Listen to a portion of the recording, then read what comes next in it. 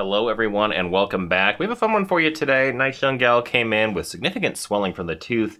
As you can see number four has that decay approximating the nerve inside there. It didn't really look that bad all things considered as far as the PA. And then when you look at the cone beam, similar situation. Doesn't really look that bad. Maybe a little inflammation in the sinus. However, look at this right here. The buccal plate is completely gone.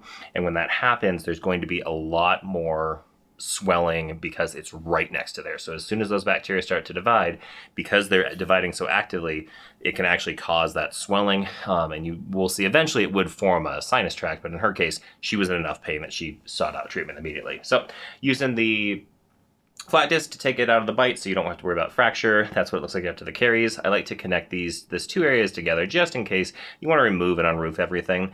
And you can see that loveliness coming out of there. I'm always looking to see how much drainage we're going to get because in a case like this with the acute apical abscess where they have a large amount of swelling, you really want to get as much drainage as possible so that it allows her immune system to take over. Um, she had started antibiotics the day previous, so they had didn't have enough time to kick in.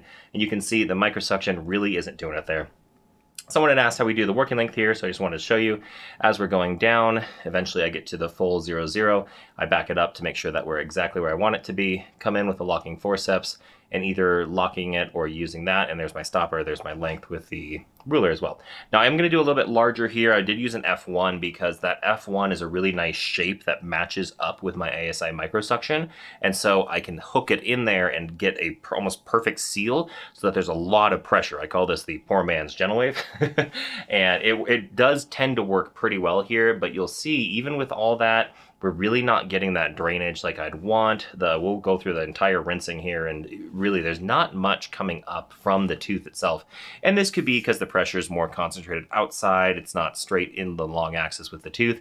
And so having it out there, really, you can see that that's not pus, that's just bubbles from the Triton. So not really pleased with how much we're getting out of here. One final thing you can always try is if you take a paper point long, sometimes that almost pops it and you get a lot of drainage out of there. And you can see my paper points there, they're really, I mean, they're not even that, they're definitely nasty, but it's not what you would think. So for sure going to two-step this one. I two-step all of these uh, AAA cases.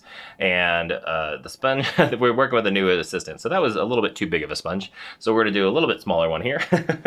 and then just go ahead and put the cavit on top of there. And that's pretty much it as far as our temporary. I do like to push down a little bit farther on here. And the cavit almost acts like a plunger and pushes that calcium hydroxide into the infection. That tends to induce an inflammatory response that helps the area heal up and ideally should help lessen the risk of a cyst, ideally. All right, here's the moment we've all been waiting for. That's the swelling, going with a 15 blade, and...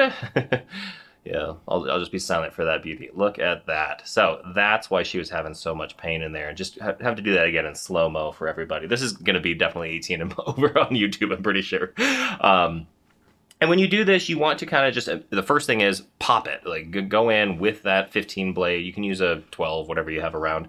Um, go ahead and pop it and that initial one is going to get most of the drainage and you can still see there is some pus coming out of there so I'm going in and just making it slightly larger uh, I forgot to get a video when she came back for the next one but it heals up beautifully, especially on a young patient like this. You really don't have much risk of scarring or anything. Go in and rinse it out with some sterile saline or sterile water. Just get that nice and clean and then you want to leave this open. Uh, so going in here and putting that gauze. As far as the recommendations here, um, you want to change that gauze 30 minutes after, and that's it. The reason why is it's just going to absorb any pus or blood or anything that may come inside there. You need to avoid crunchy foods, so no nuts, chips, or rice, anything that could get stuck inside that area. And then you also want to tell the patient why you're not going to suture it closed. You actually want to leave it open. Sometimes I'll talk to them about it being anaerobic, things like that. All right, here we are coming back, um, looking great. She's feeling fantastic, so much easier to get her numb. She was in a great mood this time because she, she said it hurt for probably a day or two after, and then she was back to normal. So uh, going in here, removing everything. And this patient, um, I ended up not doing the restorative for. This dentist prefers that I send it back to him uh, with just cotton cavit or a sponge and cavit.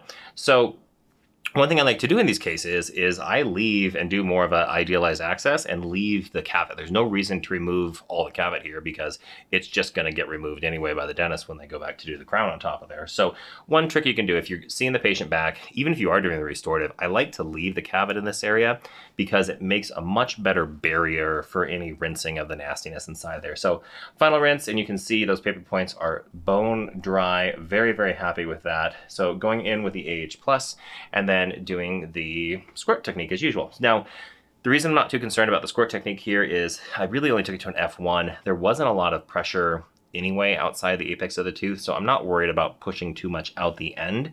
Um, I'm not really going to use the PacMac here because of that, but it's a good size and you can fill this up and it, it's very predictable in this case. At F1, if you're trying to learn how to do the squirt technique, an F1 is a very good shape to start on. The smaller ones are definitely harder and anything bigger than an F1, you just run the risk of blowing out the apex. Um, pretty much if I go larger than F1, I end up using a cone. So that's what it looks like. You can see a little lateral exit there there in the check film. Here's what the final gutta percha looked like.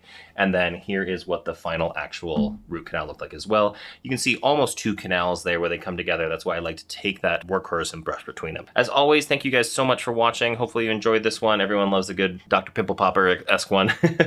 if you have any questions or comments, leave them below and I will talk to you next time.